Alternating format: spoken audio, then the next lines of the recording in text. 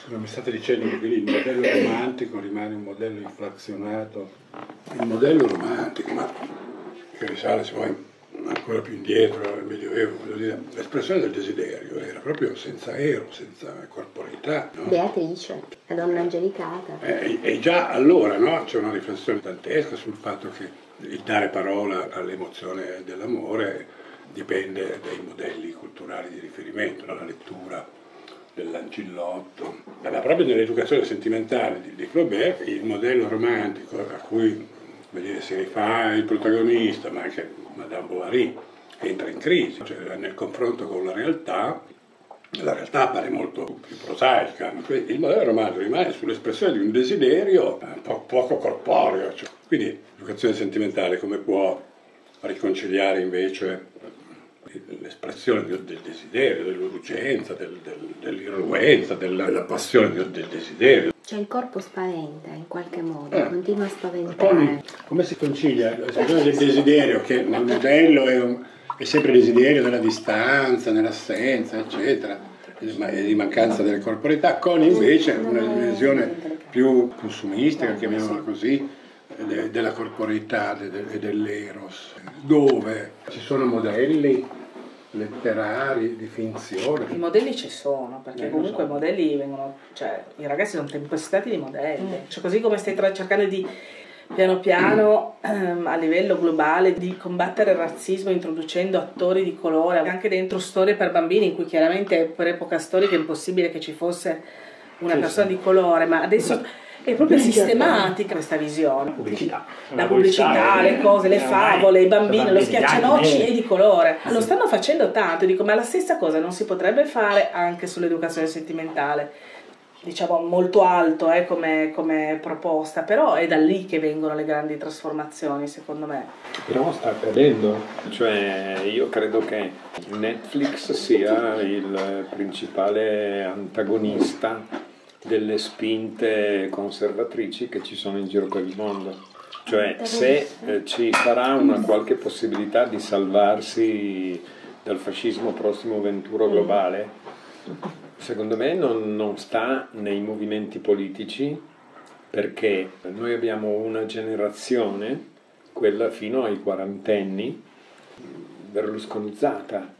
Quando la destra, quando quelli di destra dicono che la cultura è stata egemonizzata, continua ad essere egemonizzata dalla sinistra, eccetera, è una stupidaggine senza senso perché sono 30 anni che la cultura la fa la De Filippi in Italia. E la cultura nel senso di introduzione ai comportamenti, modelli, fornitura di modelli, eccetera. Adesso io dico De Filippi per sì, sì, no, tutto, tutto, quel mondo. Qual è questo modello? Eh. Questo modello qui è l'intrattenimento, cioè tutto è intrattenimento i rapporti tra le persone sono intrattenimento. Evasione. Cioè tutto serve ad evadere, ma anche le questioni che riguardano l'occupazione, cioè voglio dire le robe più concrete.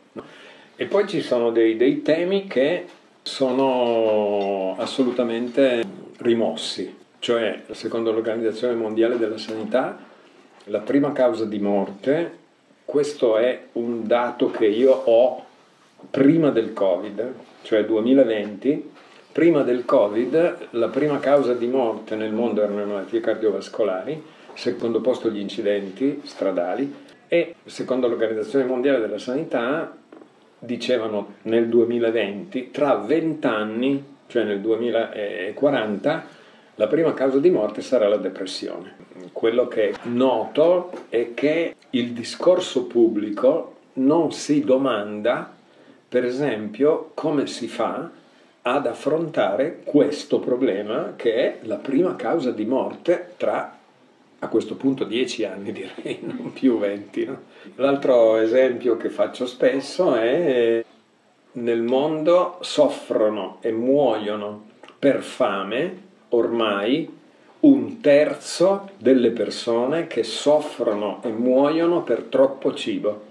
Allora, tutto questo cosa c'entra con l'educazione sentimentale? Eh cavolo, c'entra tantissimo perché t- tutta la nostra vita è fatta di intrattenimento, che per certi versi è un bel vantaggio perché la gente si suicidava perché non sapeva cosa fare la sera Cioè adesso comunque tra, tra YouPorn e Netflix eh, la sfanghiamo insomma. No? Però questo genera una competizione continua che è continua apertura di conflitti. Questa cosa dell'intrattenimento, di come si rapporti con il conflitto, mi sfugge un po', nel senso che l'intrattenimento mi sembra quasi l'opposto del conflitto, nel senso che è esattamente ciò che accomoda l'intrattenimento, fa piacere a tutti. Ma il conflitto è intrattenimento, se no, cioè quando vedi due litigare da, dalla De Filippi, uomini e donne, ah, capito. adesso ho capito che a cosa che faccio continuamente, nei talk show tutti bisticciano continuamente. Tutti che guarda. Sì, non è conflitto. No, ha ragione lei, Vero, no, ha ragione cioè, ho capito.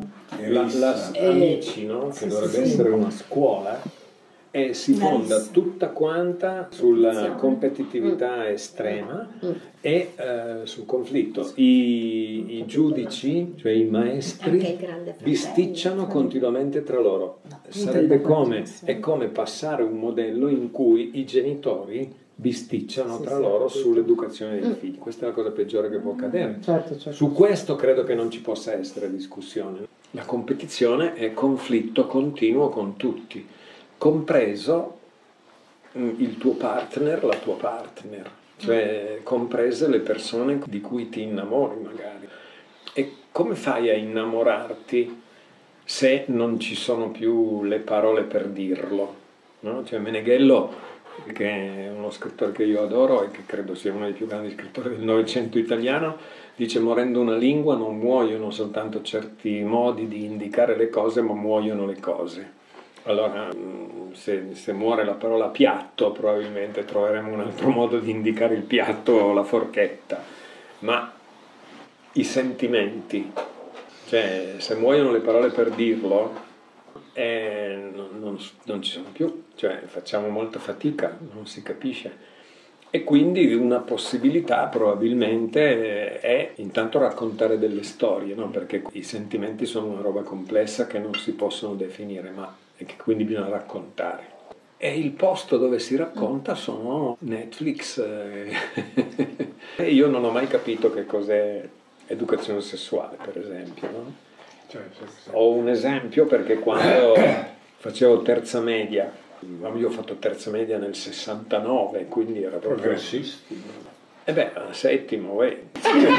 e de- decidono di fare l'educazione sessuale. E, e- l'educazione sessuale è consistita nel parroco che è venuto a parlare per un'ora. La palestra era gremitissima, non vedevamo l'ora di andare all'ora di educazione sessuale.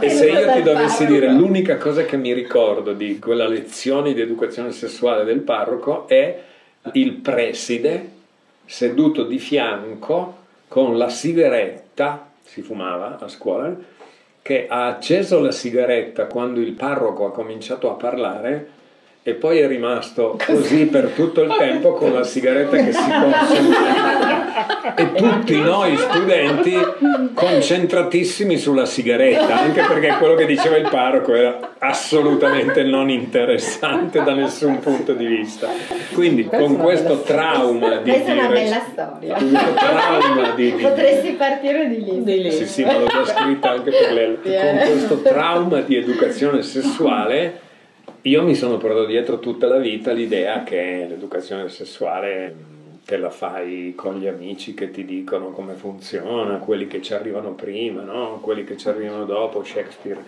aveva già capito tutto, cioè mh, Benvolio non ha ancora capito che esistono le ragazze, Romeo ha già capito che esistono le ragazze, ma eh, il rapporto quindi tra loro muta radicalmente perché c'è quel momento lì in cui ci sono quelli che hanno capito che esistono le ragazze e quelli che non hanno ancora capito. E, e quindi i rapporti che si sono tenuti fino allora mutano, mutano profondamente e Shakespeare fa il catalogo entomologicamente con, con lo spillone eh, stacca il momento in cui eh, Romeo si distacca da Benvolio perché tutto quello che hanno fatto fino a quel momento lì, tutte le loro abitudini di gioco, eccetera, non sono più valide. Perché, perché, a quell'altro, a Romeo, interessano le ragazze e l'altro, all'altro non interessano ancora. Infatti glielo dice, c'è la prima scena in cui loro due si incontrano, il dialogo in cui la madre di Romeo chiede, dice, vedi che cosa gli è capitato, tu che sei suo amico. Eh, cioè la cosa più stupida che può fare madre Montecchi, no? perché dice perché l'altro non lo sa e, e, se c'è qualcuno che non può saperlo è proprio ben voglia. E, e Romeo glielo dice, amo una donna. E allora dice, come? Come sarebbe? È un tradimento questo, fino adesso no? E quello lì è il momento. Ma Romeo non è mica innamorato di Giulietta, eh? All'inizio Romeo è innamorato di Rosalina. Sì, di Rosalina, sì, sì. Cioè, di una ragazza che non vuole incontrare. È come Charlie Brown che non vuole mai incontrare la ragazzina con i capelli rossi, perché sta ancora nella fase in cui eh, tu ti sei accorto che esistono le ragazze, ma l'ultima cosa che desideri è averci un contatto reale. Perché hai paura, perché come si fa? Cioè, non ho idea di come si fa. Ma io credo che nel 2528 sarà ancora così, perché questo è la natura umana. E Shakespeare è Shakespeare mica per niente, cioè perché colpisce qualche cosa che vale per sempre. Eh, prima dicevo l'educazione sessuale, boh, io non ho mai capito che cos'era finché non ho visto Sex Education. Ah, la serie? Eh. Merita? Cavolo, a me è piaciuto un sacco, cioè perché fa ridere, affronta questioni importanti, cioè questioni pratiche, concrete, con una leggerezza per cui tutti i ragazzini, tanti guardano, mm. tanti, tutti quanti hanno visto Sex Education. Eh, L'educatore è un ragazzo, sì. un adolescente. No? Sì. E che non sa nulla di senso. Che non sa niente. Ma quello dove c'è la mamma che... La madre è una sessuologa e il figlio non, non riesce ad avere un, un'attività sessuale regolare, non soltanto con eh, le ragazze in generale, neanche da solo, quindi è proprio problematica la situazione. E quindi apre uno sportello di consulenza sessuale. E poi lui c'ha l'amico gay, il suo amico, il suo amico... E tutte queste cose qua sono proprio... Sono trattate bene comunque. È come Shakespeare, cioè sono... Ah, lui guarda che quando ti succede che scopri le ragazze, i genitori, non mandate l'amico a chiedere, l'amico non, non lo sa, no? andate voi, cercate di capire come. Eh, e poi guardate che eh, ragazzi, quando vi innamorate della prima di cui vi innamorate, non siete innamorati di quella lì, siete innamorati dell'amore. Cioè avete capito che c'è questa roba qua che non sapevate che esisteva.